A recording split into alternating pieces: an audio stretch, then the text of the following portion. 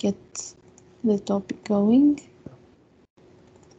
If I don't remember, um, could someone remind me to ask you, if you don't mind, to share your presentation in the chat and I'll upload it with the rest a little bit later. Ah, yes, yes, I will. Mm.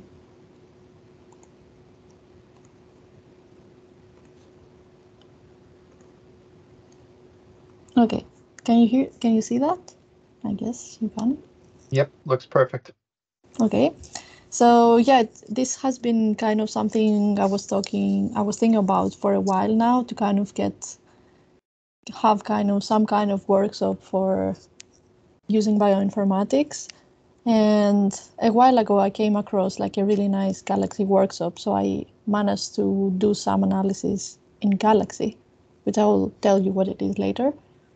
But I thought, okay, I've been doing everything without Galaxy so far, and it has been working mostly. So I think it's worth doing some bioinformatics with, but also without this platform to kind of compare the approaches.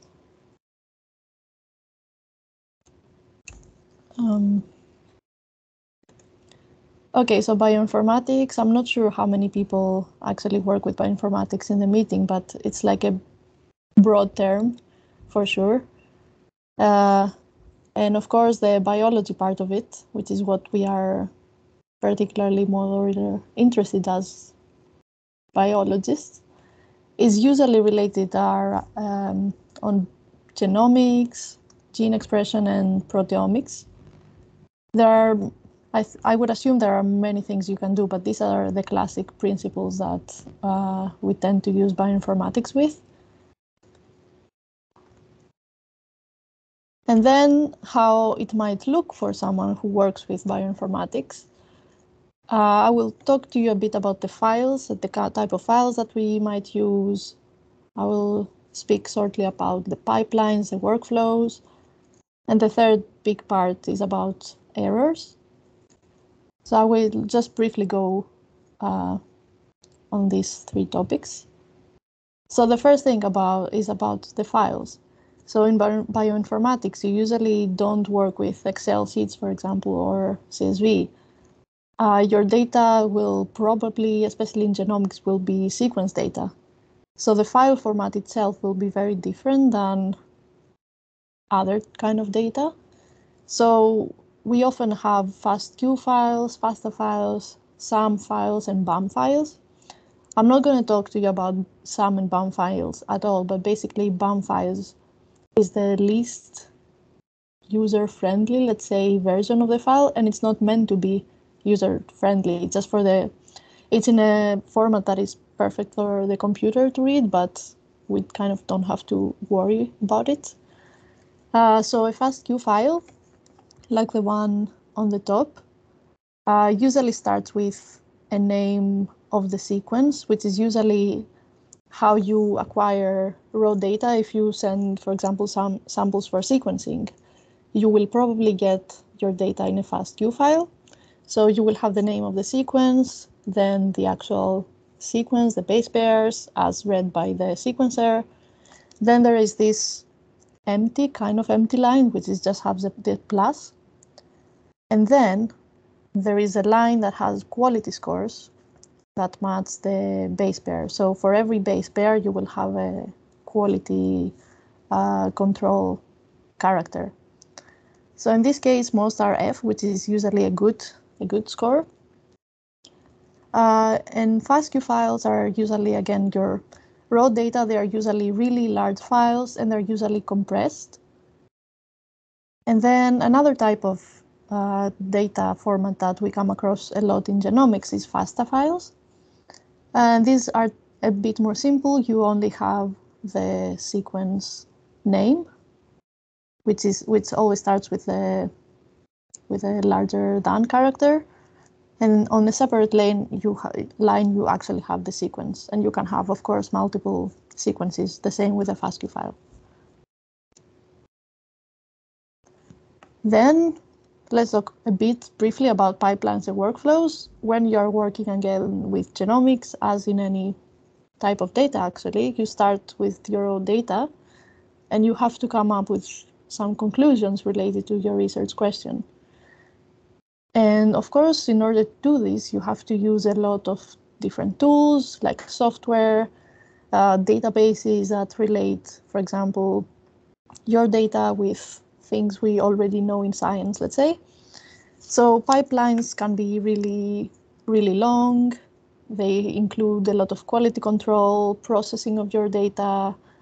And in genomics, there are a lot of standard pipelines that you kind of have to adjust always to your data set. So in this in the picture, it is a pipeline or like a workflow, but you have to consider that every step that here, for example, might might only be let whoops, sorry. Let's say assembly and scaffolding. This looks like a single simple step, but in, in reality, it's usually, of course, many more steps within every every step of the pipeline. And this can complicate, of course, your analysis. Um, but yeah, we typically talk about pipelines and workflows when we are doing bioinformatics. And then when it comes to errors, this is something that will become part of your life. And I'm sure because most of you are programmers to some degree or doing analysis, you have come across troubles with code and errors in analysis. And this is this is like a screenshot of some jobs I was running these days, and I could see failed, failed, failed, timeout, failed, which was not very nice to see, but at least I have some indication in this case. I have the the error code, let's say, so I can look that up and see what it means and why my job failed. But I think for me, the worst mistakes are the mistakes that we don't even know we are doing so sometimes your code will fail and you will know why. But sometimes you might try to apply a tool in your data that is not really the appropriate tool for your data. And even if the tool is going to run, your conclusions may not be as trustworthy. So this is a mistake that maybe you're not aware you're making. And then there are all these mistakes that the code is not running, for example, that you are aware. And these type of mistakes are usually have to do with software version, incompatibility issues uh, across different software, or you might have a pipeline that you're now using on new data, and you realize that there are, there are all these small little things that are different in your new data that might make your previous pipeline not work, and you have to go in and check why. And of course, as always, there might be syntax error and coding mistakes that might take you a long time to figure out. And in all these errors, of course, AI is your friend, and we have talked about it before. Uh, I use it a lot as well to try to interpret errors, but also to prevent errors just by making my code, uh, generating the code.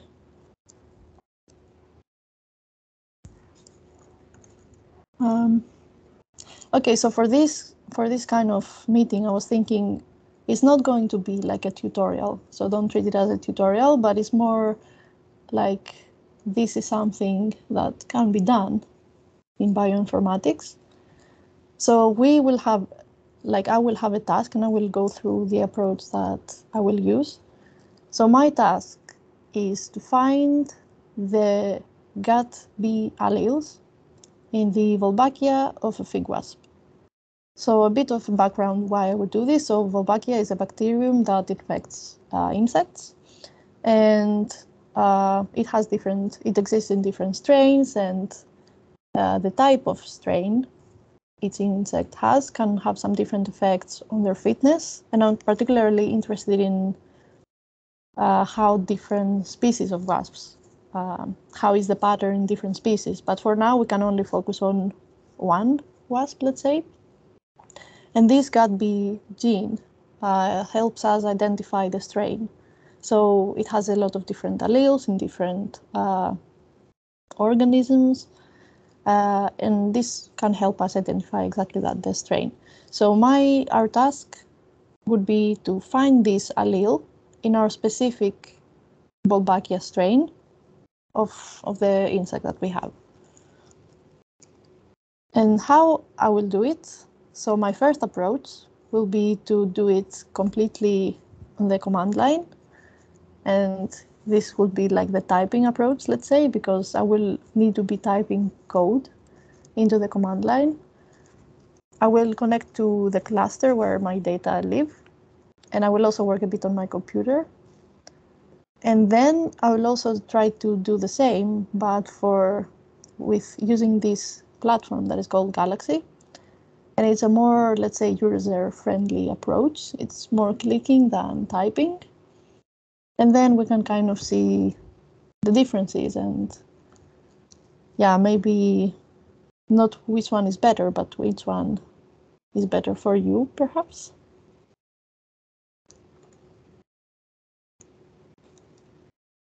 So in order to, to complete the task, we will have to break it down into two main steps. So first we have to make an assembly from the raw sequences. So the Wolbachia I have is basically the raw sequences that came out of the sequencing machine. So this is what I use as my Wolbachia. But of course, all these sequences, they are short. They are only 150 pair base pair long. So I want to make an assembly from everything. I will try to make as much of a complete genome as possible without having all these multiple copies or ever generated from the sequencer and stuff like that. So the first step would be to make the assembly. And then the second step would be to find the specific allele that this particular strain has of the gene GATB. So just try to find the sequence and then I can compare, of course, the sequence to GATB alleles from other species if I need to. So this is kind of the task. So I'm gonna try to, yeah, I'm gonna turn off my camera for a bit.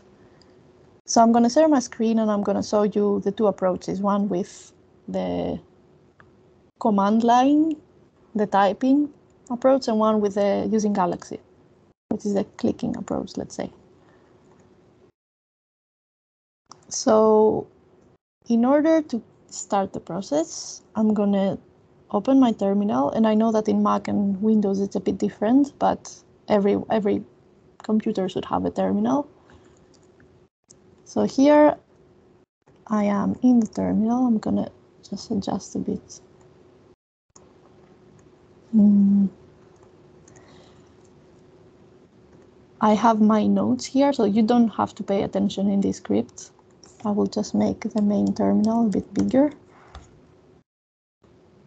Mm. Okay, so you should be able to see.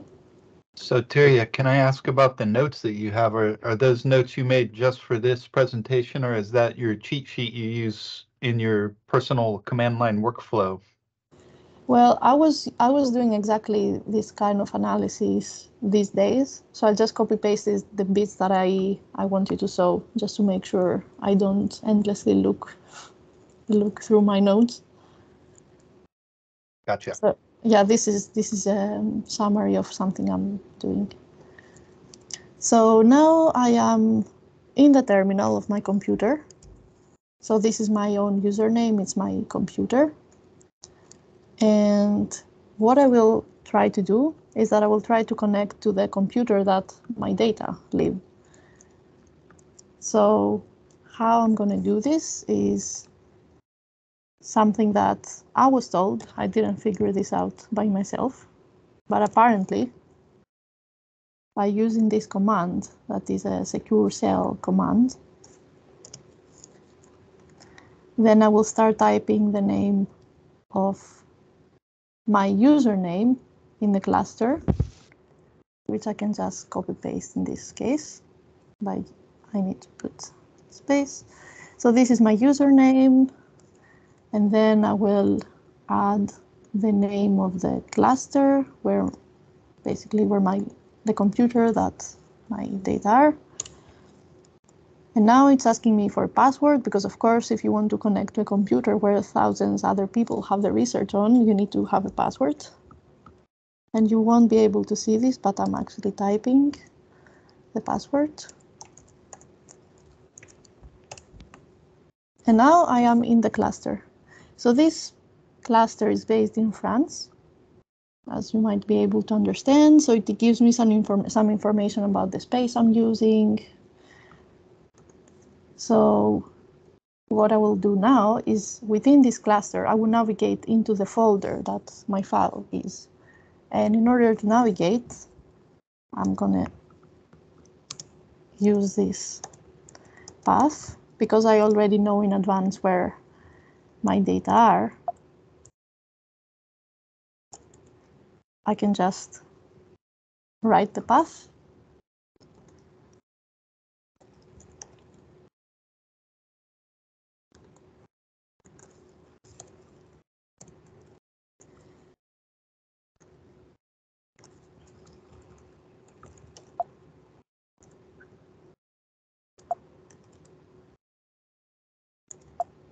Oh no, the Greek.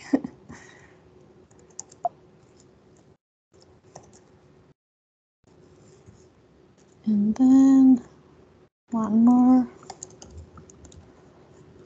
Okay, and enter. So now you can see in the last line that it now has a different address, which is the path where the data I want to show you are. So if I actually want to have a look in how, in what is in this folder that is called raw data at the end of my path, then I would say ls, and this is going to list all the items that are in this folder. And as you can see, there are a lot of different items. So what I will do next, I will go one step forward and I will go into a folder that I call the multiplexed barcodes. Oh, Sotiria, for the benefit of people that um, maybe they've never even seen a Linux command line before and are horrified at what you're showing them, how, how long did it take you to get over your um, learning curve for working just on the Linux command line like this? I don't know if I've if I've gone through the learning curve. you don't know if you're through it yet. uh, I think I was lucky in the sense that I was introduced to the command line through a structured course. So at least there was some kind of idea of what was going on. And I think for me, this is the best. Otherwise, you can really get lost into your own computer, let's say. Yes. But for sure, a lot of people are learning on their own from scratch and Yes. yeah a lot of programmers i feel like they're it's just like self self-taught Yeah. Yeah. Okay. Thank you. so yeah there is for sure a way to learn i learned through my phd i had zero skills about the terminal i was very scared about like what is this but yeah i don't want to make this a completely like how to use a terminal uh, kind of meeting but I just want to show you that, yeah, this is how it can be done. And this is how I have been doing most of my, my analysis. So here now I have navigated into a folder by saying, by typing cd and then space the name of the folder. Then I am, it's like clicking into a folder. So now I'm, I am in the folder called the multiplex barcodes bats. And if I want to see what is in there, I will again say ls. And if I add space and then minus l, then it's going to give me the contents, but in a list that, as you can see, it has a bit more information. It, it says time that you last processed. And as you can see, there are a lot of data, but we don't need to worry about them all. We're just going to focus on one specific sample.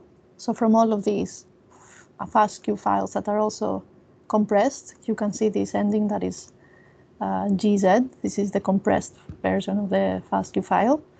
We will only focus on one. So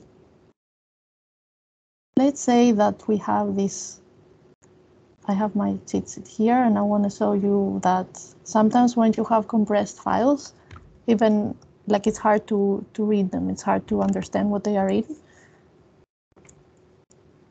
Um, maybe for this, I'll make it a bit smaller. Mm. So there are ways of looking into a file like this. So the command I typed here is zcat, then the name of my file, and then the pipe character, and then head. So this command will tell me to kind of display the content, the, the contents of this file. And because it's compressed, I need to add this z in the beginning. So usually you would have cat and then your file, but because it's compressed, I need to add the z. And then you pipe and then you say head. So basically this pipe means that you can just add commands, the one after the other. So the head command is going to show you only the first lines of your document. So by having this piped, it means that it's going to show me the first lines of this compressed document. And you can see that this FASTQ file looks like before. We have the sequence, we have the sequence name in the first line, then the sequence, then an empty line, and then uh, some characters that are for quality.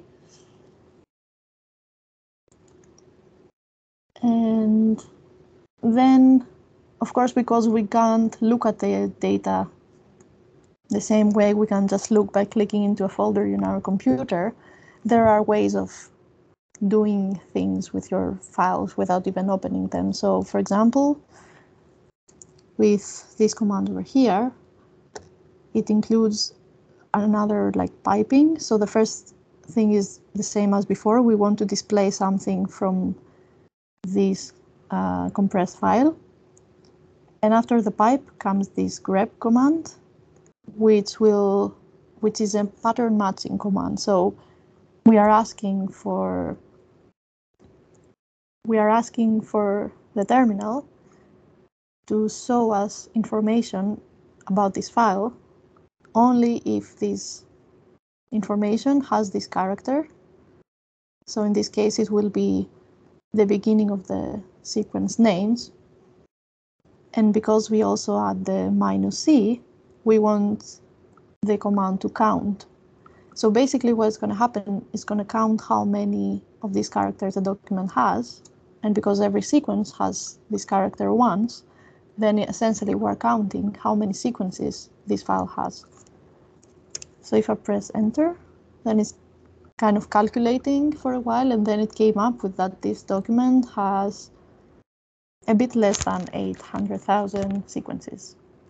So it's a lot of information and it's something that, as you can imagine, you, we wouldn't be able to handle like manually one by one or just by copy pasting and analyzing uh, in this way. So if we want to make the assembly now, what I will do, I will navigate back into the previous folder. And to do this, I will just say cd space and two dots. So I'm now back into the previous folder, raw data. And then I'm going to prepare uh, a script that is going to help me make the assembly. So how we would make a script, I would say I would use this command. So this nano will open a new window that will allow me to edit my script. So if I now press this, so nano and the name that I give to my script. So now this is going to open a new window. And for the sake of time, I will just copy paste the entire script and I will explain what it means.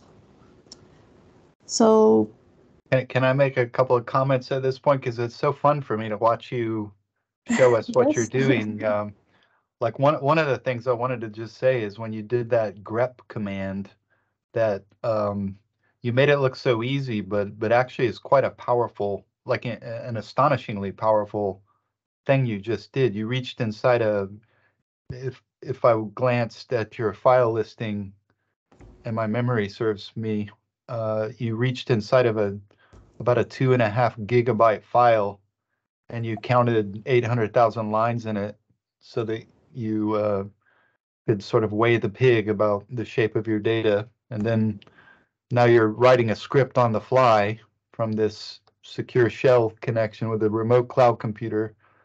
and you're using the little uh, command line program Nano, that's also horrifying to most people who have never used the command line, um, those tools like Nano. So it's just really fun for me to watch. I just wanted to comment on that and how uh, impressive the uh, command line tools uh, like grep are. Yes, yes, and the grep is kind of, yeah, it's a very useful, as you said, and you can, it's in R as well, we use grep, right? It's, it's something that you can do to filter data, to count things in your data. So yeah, for sure. And yeah, so I will repeat the step with nano. So I will just I write again nano and then the name that it could be any name I want to give to my script and then dot sh, which is like that it's a shell script, it's like a bash shell script. It's a type of uh, script that yeah I need to indicate. And then when I click this, I copy paste my command. So the first few lines here just uh, indicate again what type of script it is. Then there are some information about processing, how long the job, uh, what is the limit, the time limit for the job, a name for the job. This is this can be up to me. And then after when you have the has hashtag uh, as usually, it means that there are the code is not gonna be processed as a command, but it's a comment. It's a comment uh, code. So after the comment lines, then I ask module load this SPAdes thing. So this line is going to load this software that is called SPAdes and it's installed into a folder that is called bioinfo. So this is, I'm quite lucky because the cluster that I'm showing has this software already installed and running. So I just need to load it then the next command is going to make a new folder for me to put my output, so my the results that the script is going to generate. And then the other line is the actual command that will make the assembly. So everything is really in this line.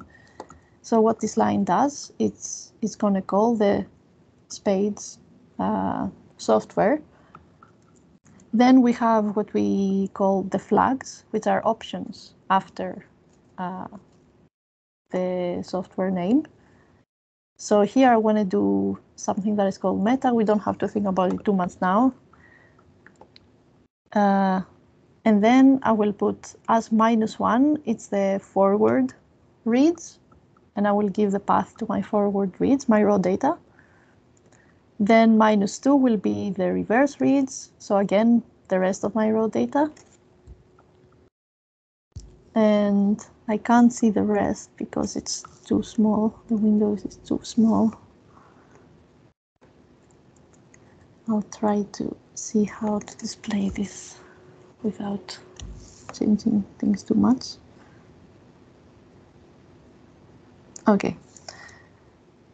And after I indicate the input, so the, the raw data, then I, I also type minus O, which is the output, and I basically give the directory, so the folder of where I want the output to be. And if I want to save the script, you kind of have to follow the instructions that are on the bottom of the script. So if you want to write it, write out, then you would have to say you would have to type this. So I do that and suddenly it, it says, okay, do you really want this to be the name? And then I say, I just press enter and then I can just exit. So now we have the script, but the problem is that now we have to make it ex executable. This is just an extra step. So basically, in order to be sure that you can run it, I need to make sure that it's executable. And where did I put this? Okay. Okay, so to make it executable, I say change mode. This is the command for change mode. And then I want all users to gain access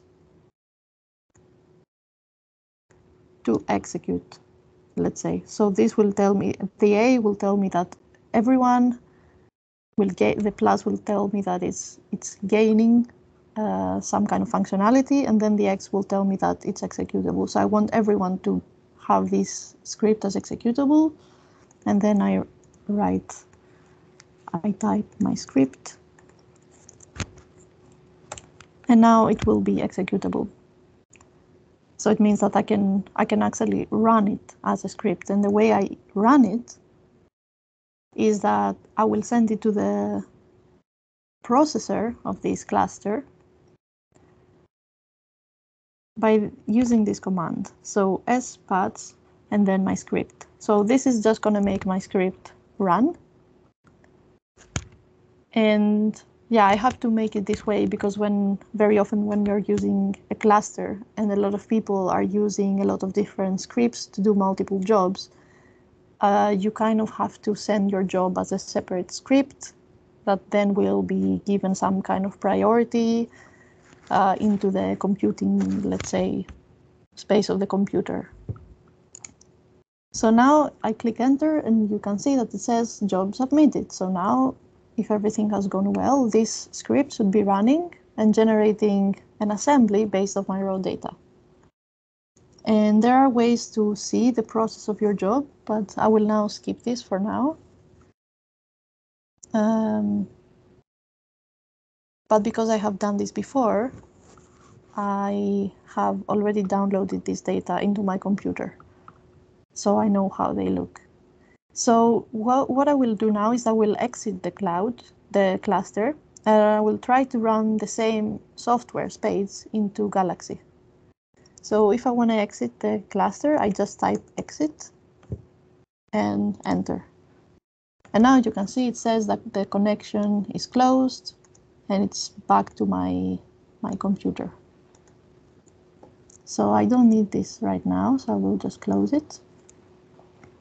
So And Terry, there was a question in the chat um, Oh, about, you mentioned a course that you went on. How, how long was the course? How much training did you take before you started uh, exploring the, these Ah. tools on your own?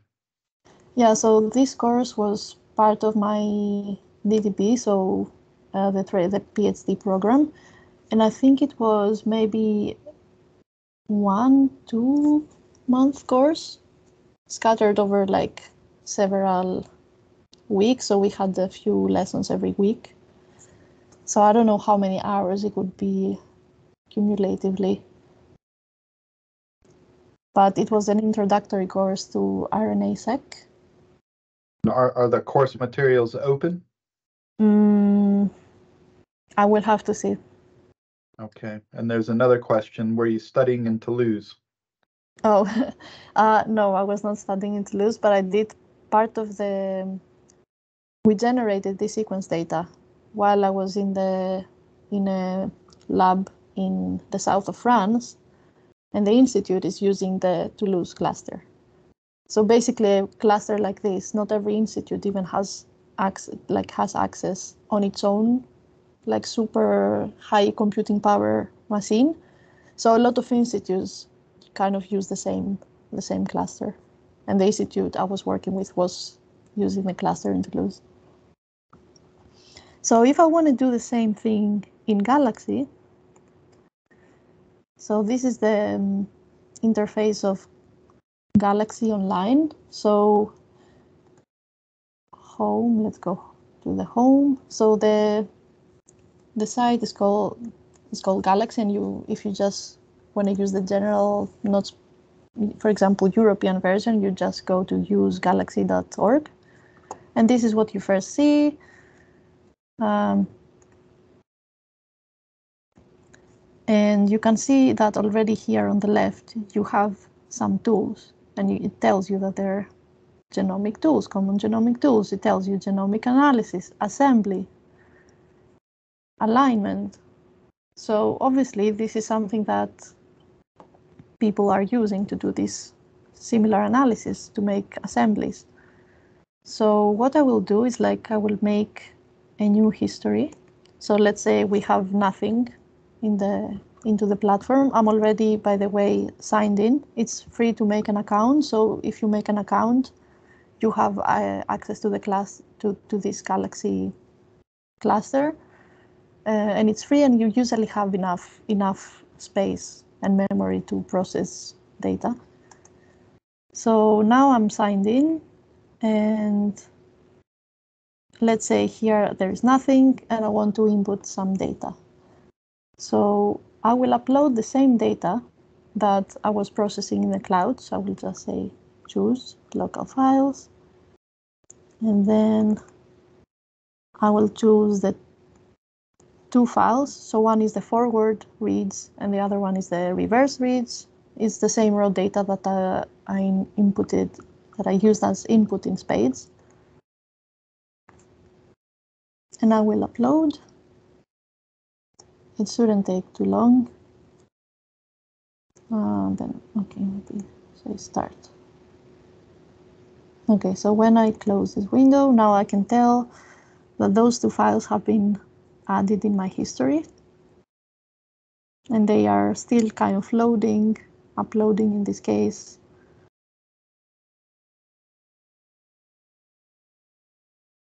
So first, first one is ready. And if I want to have a quick look, I can click on this eye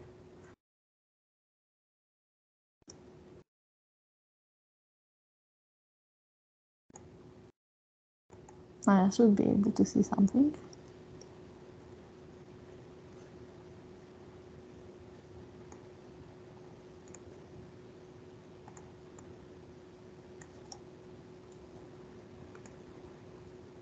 Okay, so in this case, I might not be able to see something actually, and it could be related to the fact that this is a, a compressed file. But if I just click on it, then it gives me some kind of, oh, it's still loading.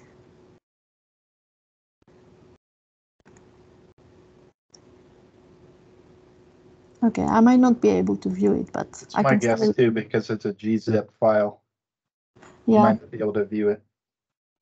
But okay, even if I can't view it, I can still do some analysis. So for example, if I was to do, to try to run SPAdes again, fair, of course I can start scrolling and see if they have SPAdes somewhere here, like easy, fast access, or I can just start typing SPAdes. And I see that there are under, there are some options for me. And I actually know in advance that metaSPAdes will be the tool for me because SPAdes and metaSPAdes are kind of similar, a similar thing anyway. So I will use metaSPAdes. And when I click on it, all these options appear in front of me. So I indeed have paired and read, so I have forward and reverse. So I will Mm, yeah, I will click this option. I will keep all the default values if I have if I have no reason to change it. And then I need to indicate which uh, which files I want to process. And then if I click here, it will give me the option to choose one of the ones I just uploaded. So I will say my forward reads is number one, and then my reverse is number two. And then everything else is left by default. And you can also just make sure that you get a notification when the job is finished, and I will start running the tool. So this is very similar to what I did with the script before. So I have my data and I run SPAdes. In one in one occasion, I had to use to run SPAdes by writing the script myself and loading the software from the computer. Well, in this case, I'm just using an online platform that I'm just clicking things, clicking options, and it's doing a very similar procedure. So I have already run SPAdes in Galaxy because this might take a, a while. I just need to switch to a previous history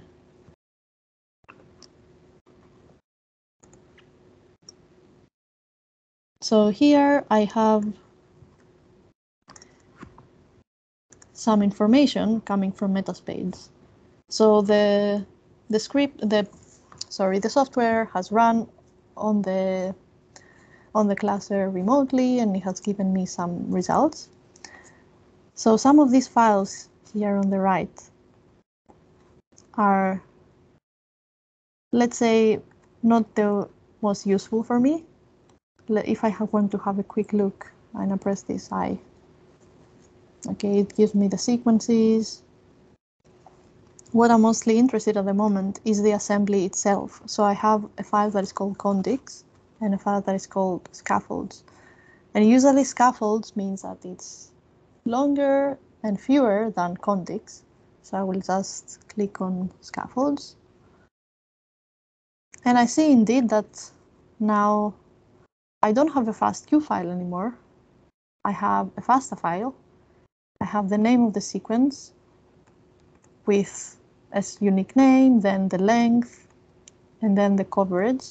So how many individual row reads have been used to generate um, this scaffold.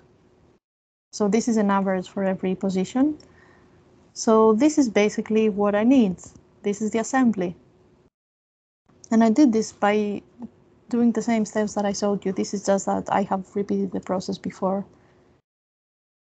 So I'm not sure if it's worth doing the extra step of I of I trying to identify the specific allele because this might take a bit of time because I was planning to do the same in the terminal and in the cluster.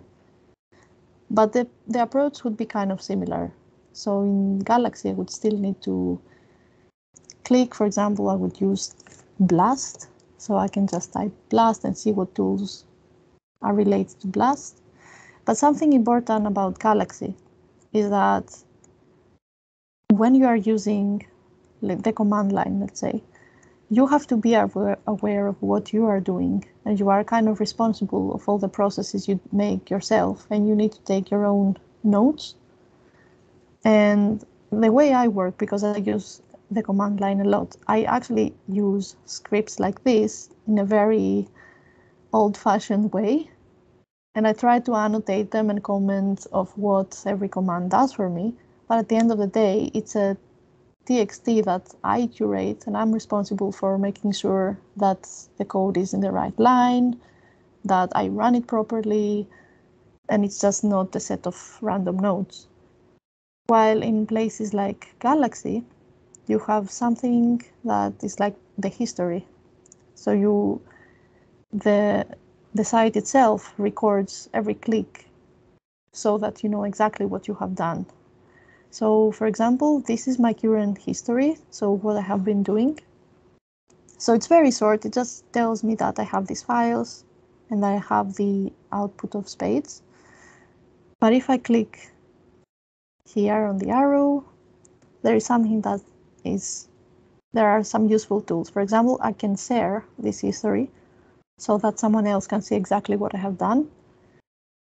Or I can extract workflow. And this is very useful because by the time I click extract work workflow, I see all the steps. In this case, it was a very short workflow, so it's not very impressive, but it's still.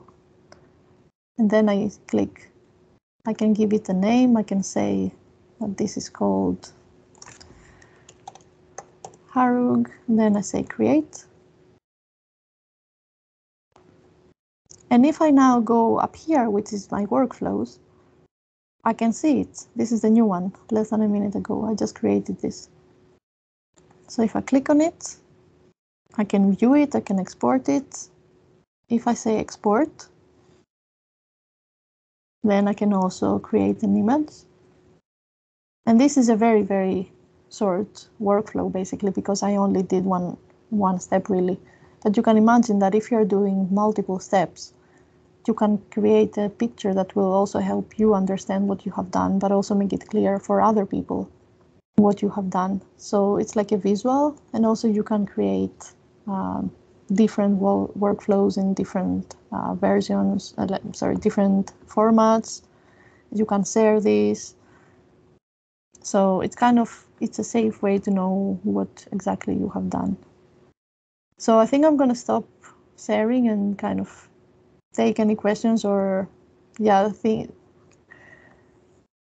ask like which what which is best and why maybe one is better than the other and stuff like that. Thanks, Sotiria. That was uh, really fun for me to watch you go through that.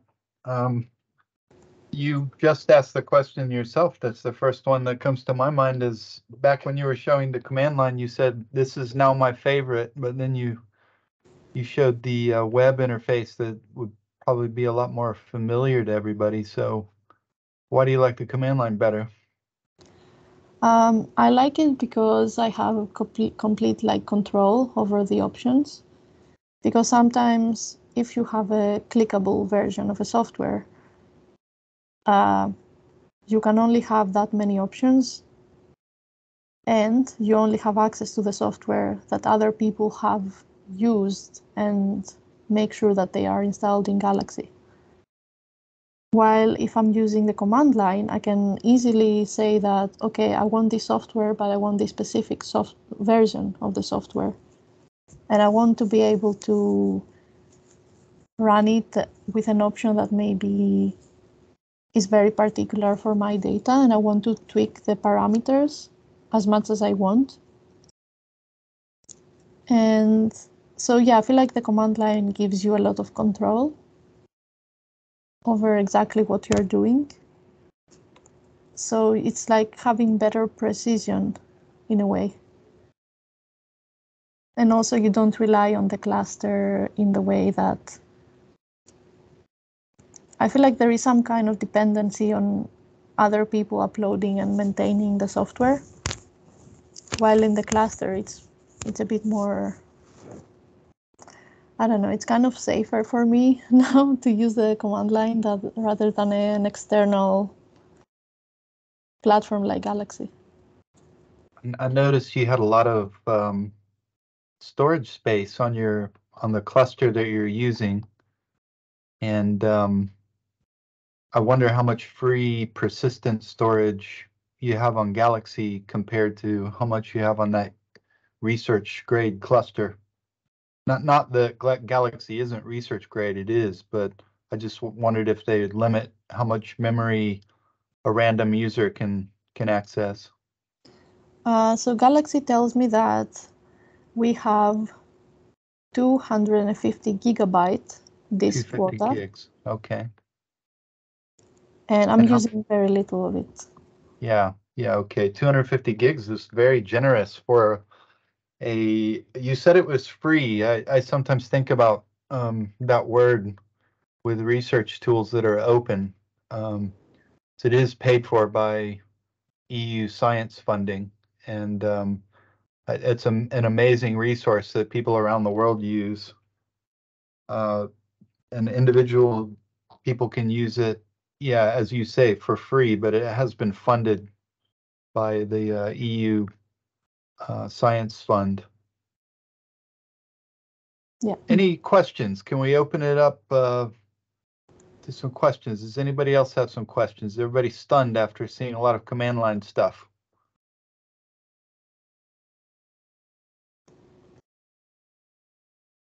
If nobody has any questions, I, I have a few more, um, but do interject if you have some questions. But so in my bioinformatics days, um, I, in fact, I moved to England.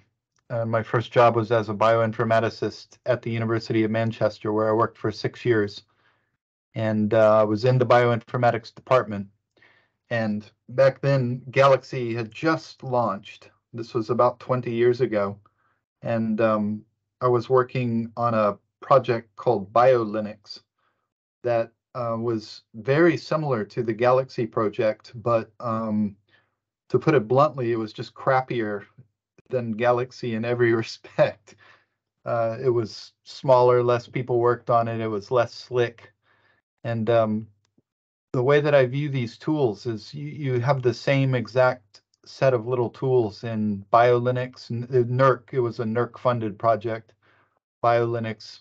Um, Galaxy has ex exactly the same tools as you demonstrated, and you can have all the these little tools as Python or um, compiled uh, bits that that you compile locally on whatever server you're using, even your local desktop for small uh, amounts of data, unless you have a, a research capable workstation.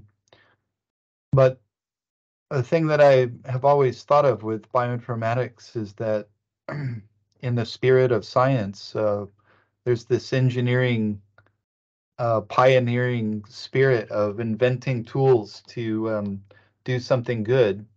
And there is a tradition in, in biology and, and some other fields too.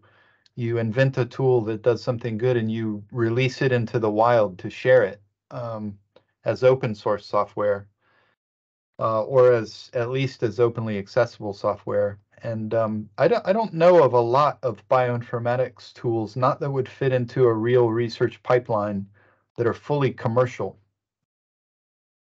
And the good part of that is you can use these uh, tools that are paid for by research funding tax um, money uh, ultimately. You can use them at the as a user for free.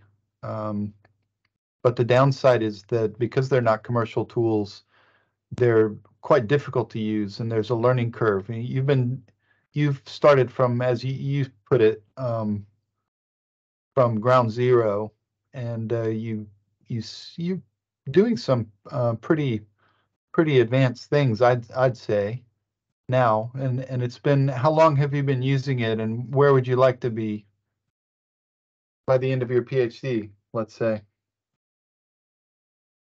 um, yeah, I think I started at the start of my PhD, so it's it's almost three years now, mm-hmm. and I've been using it almost nonstop because my whole project is basically bioinformatics.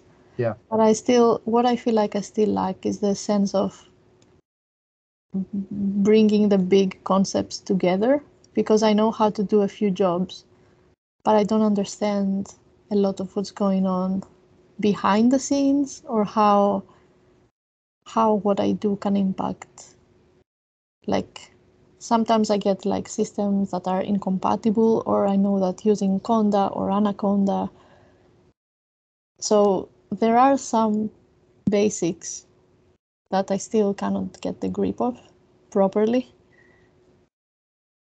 So yeah, by the end of my PhD, I would like to be more confident in that not only can I do the job, but I understand how this fits into the whole analysis and setup.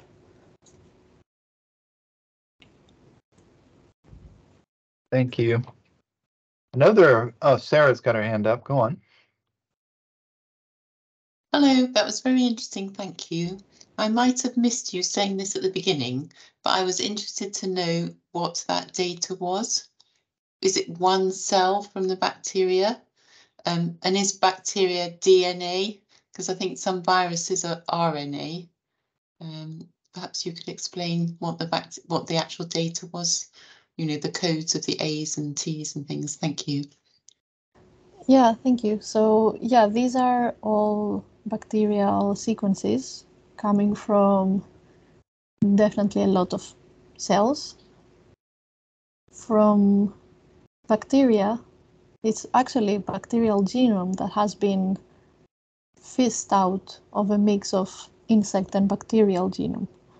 So this is kind of a bigger bigger question, but it's it should be bacterial genome, yeah. And we are targeting whole genome.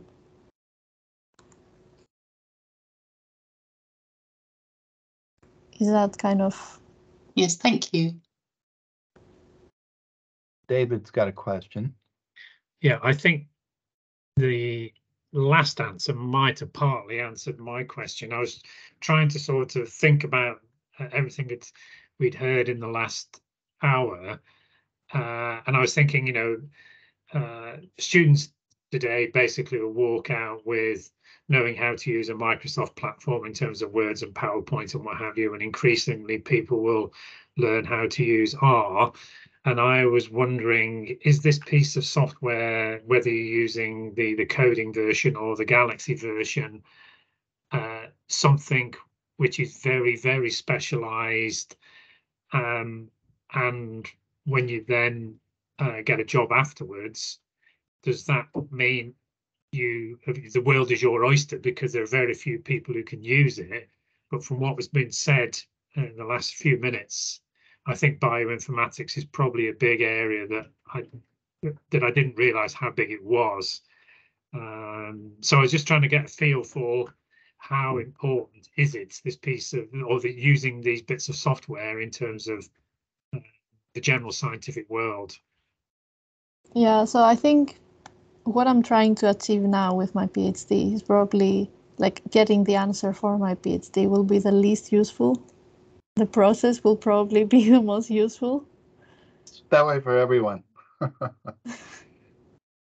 yeah, so yeah, basically everyone I know that works with genomics or yeah, even proteomics, like evolutionary biology, molecular biology, at some point they will have to use similar tools. And whether they go all the way with using command line, I'm not sure.